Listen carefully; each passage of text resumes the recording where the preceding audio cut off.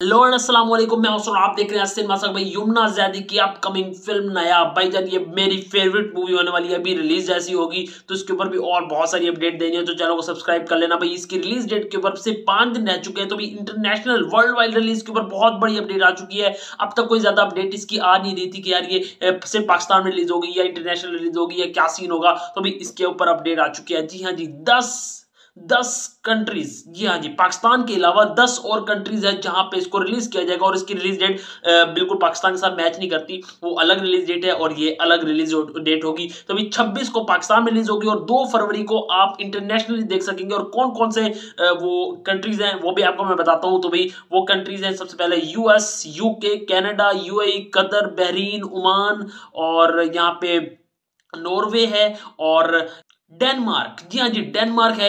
ये भाई नौ कंट्रीज़ बनते हैं पाकिस्तान को मिला के। दस कंट्री में ये फ़िल्म रिलीज़ होने वाली है। अब तो भाईजान ये फ़िल्म फोड़े नहीं फोड़ने वाली है। पाकिस्तान से दस बारह करोड़ का जो कलेक्शन हमें लग रहा था यार अभी करेगी दस पंद्रह करोड़ तक का एक्सपेक्टेशन थी। अब ये बढ़ गई है, क्योंकि वर्ल्ड वाइड रिलीज़ हो रही है और वर्ल्ड वाइड युमना जैदी की वर्ल्ड वाइड भी बहुत अच्छी खासी फ़ैन फॉलोइंग है। आपको क्या लगता है इसके बारे में? जरा नीचे कॉमेंट सेक्शन बताइएगा। तो इस तरह की वीडियो के लिए मैं चैनल को सब्सक्राइब लाइक शेयर किया।